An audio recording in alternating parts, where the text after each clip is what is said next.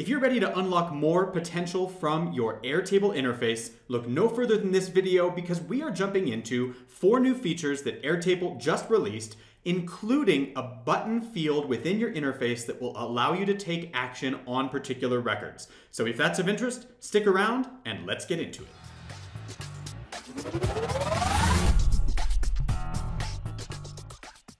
Welcome back to the channel. If you're new here, my name is Gareth. I'm the owner at Gap Consulting, where we help you save up to 20 hours of your time every week with no code tools. If that sounds too good to be true, it's probably because you haven't started leveraging the power of automation in no code. If you want to learn the fundamental building blocks of how automation can take away all those repetitive tasks that you do and just perform those tasks in the background so that you get to focus on high value tasks, well, I invite you to join me for my webinar training. You can check out the fundamental building blocks of no-code automation by signing up at garethpronovost.com slash webinar dash registration, and I'll send you all the information you need in order to start building your own automations today.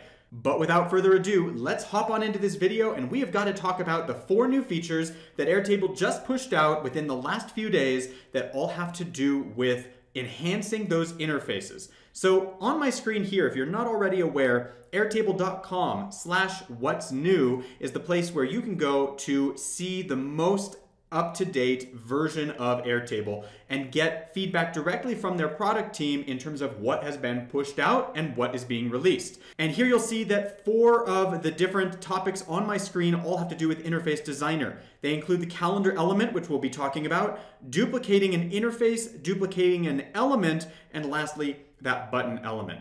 So duplicating an element and duplicating an interface is a feature that we've long been wanting because it sure makes building a heck of a lot faster. These two things operate exactly as you would expect. When you're inside of an interface, you can simply select an element and request to duplicate it rather than building a second one from scratch.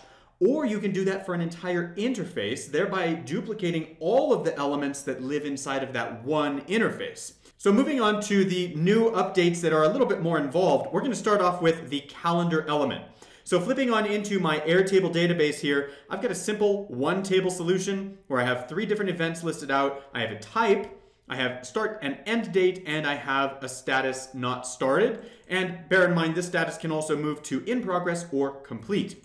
So let's go ahead and start building an interface and it will allow us to maybe see this data in a little bit better of a way that makes more sense for us. We're going to start building, and if you were to want to get the calendar element, we're probably going to want to see all of those different events all from that same table on the calendar at once. And so for this, more of a dashboard approach is probably going to be beneficial. When we go into the record review or the record summary, we're diving deep into one specific record or row inside of our database. And so for a calendar, if we want to see multiple different records across that calendar, we don't want to go at the record level. We want to stay at a higher level that's looking at the overall table of data. So for this, I'm going to start with a dashboard. It asks me what table I want to look at, and of course in our case, we only have the one table, so we'll make that selection and click Next. Now it's going to automatically default with all of these different elements. I actually don't need any of these to demonstrate the calendar, so I can toggle them all off, and I will click Next, and we're essentially starting with a blank slate, and I will call this Calendar. I'll go ahead and finish it up here. And now inside of this interface, in the bottom left corner, when we go to add an element, we see the calendar option. This is a new option that did not exist before. So let's make that selection and drop that into our interface wherever we'd like. Now by default, we see that these events are mapped out with just one date on the calendar, and yet we had a start and end date. So in order to tweak this and customize how this data shows up, we need to go into the properties of this element, and we're gonna click on the date settings here.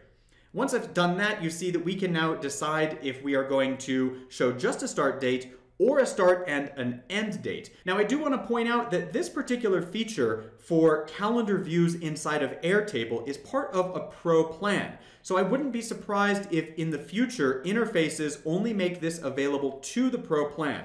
But at this point there's been nothing stated one way or another and so if you are not on the pro plan you may be able to get a start and end date mapped out on your calendar interface Check it out for yourself to confirm whether or not Airtable is enabling that particular permission. But in my case, given that I'm in a pro plan, I know for sure this is gonna work. I have the start date here, and if I want to map to an end date, I can do that as well. You also have the option here to go to base to create a new date field. So rather than flipping back and forth, if you didn't already have an end date in your data, you can make this selection. It's gonna open up your base, allow you to create that new field, and you can keep the ball rolling on creating that perfect interface. But in our instance, I'm just gonna select end date.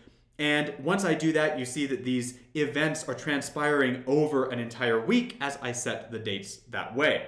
Now, in terms of position, we get to set the dates that viewers first see. So we have the option of closest record to today, or we can start with today or an exact date. So this has to do with what happens when someone accesses this interface. Where is it going to automatically move the calendar to?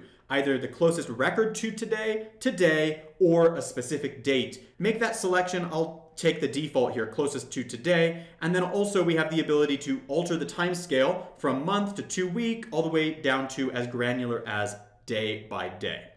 Now the last piece here, we can set it for all visits. And it mentions that if you've enabled this, the position and time scale will always reset. So every time you are accessing this, you are going to always have the ability to reset this particular time scale and position. But pretty straightforward other than that. We also have the ability to add additional date fields to this. So if you have multiple date fields, mind you, they have to be in the same table. You can also map different date fields here as well. So this is long overdue. We've had access to calendar views in Airtable, but it's brand new that it's coming in and joining us in interfaces just takes interfaces yet again to the next level, making them that much more powerful. Now it's time to talk about the button, and if you're not already using interfaces, this might be the thing that finally pushes you over the edge and convinces you that interfaces are worth building and are worth your time. So let's back up here Remember, we are looking at our overall table view, which is showing us multiple records here.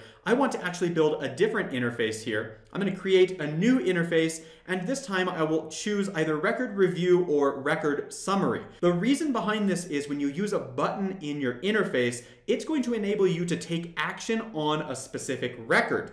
And so in order to do that, we have to have dialed into that specific record already. So buttons don't really work for us at the dashboard or high level perspective, but when we drill into a specific record, that's where buttons are gonna shine. So let's go with a record review layout here. I'll use that. And again, choose your table, choose if you want to apply a filter. Like for example, I can say, I only want to see records in my interface if the status is, let's say, is not complete. So I'll make this selection here. And now I will only see those events that haven't been marked off as complete. And we're gonna get into why this is gonna be cool in just a second. But for now, keep track of the fact that we are only gonna see those events that are not complete. Now I'll click next here and we'll move on to the next stage. I'll bring all of this information in for now. So all of the different fields in my table, I will bring into my interface and I will click next. And let's just call this button give it a description if you'd like, and we're gonna click finish. Now, coming back down to the bottom left corner where we can add an element, I will select all elements, and when I scroll down, I will find now at the very bottom the option to put a button into my interface. So let's just go ahead and slide this up here and we can allow this button to take actions on a particular record. Again, it has to be the record that we have selected for this particular instance. So in our case, we see here that we have the different events. These are the different records in our table. And as we select through them, we will be able to take action on whatever record we have selected. Now, the button can update fields. This is different from an automation. When we build an automation, we can work with external tools or we can take action on other records, other tables, all kinds of stuff.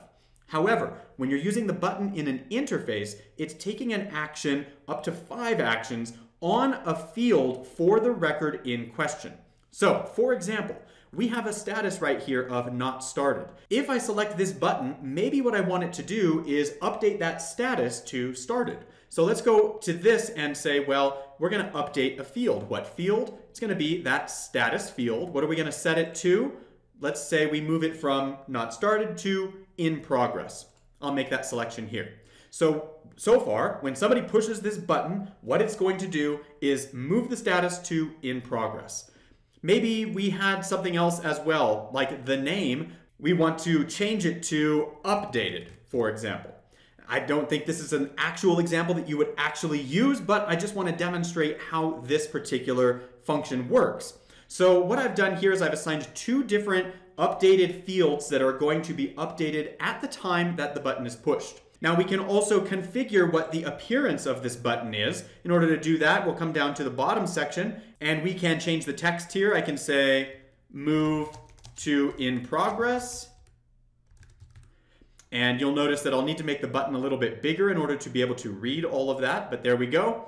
And I can change the color around as well. Let's keep it at blue for now. And then the last piece here is our option to, upon the button being pushed, automatically move to the next record. This would be really good for, let's say you have a review process where you need to go through multiple things. You can just click that button and it's reviewed, it's approved, and it moves on to the very next record that's awaiting approval. So this feature can really help streamline anything that has an approval process. Let's go ahead and allow it to move to the next record upon selection. So we'll go ahead and save this up and publish this interface, and we're going to go to the live version of the interface now.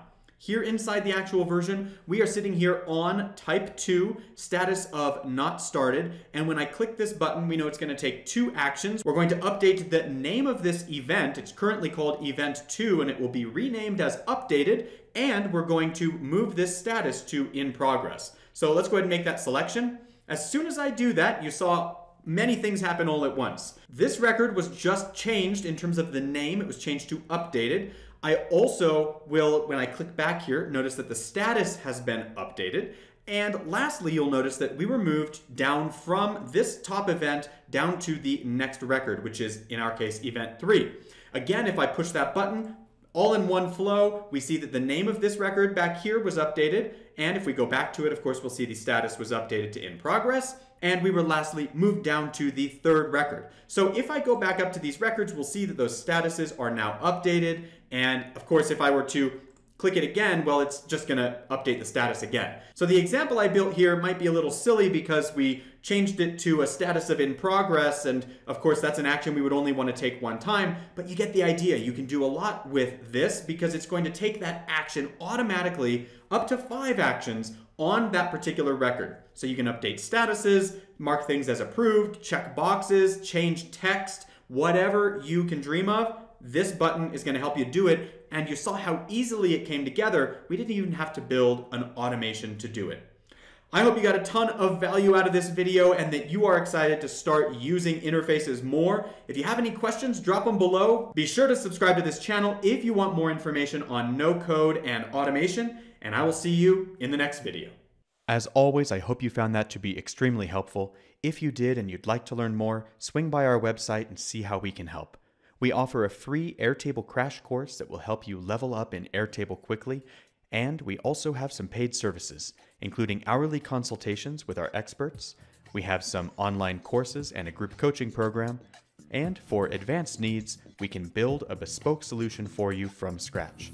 So swing on by, and I look forward to connecting with you soon.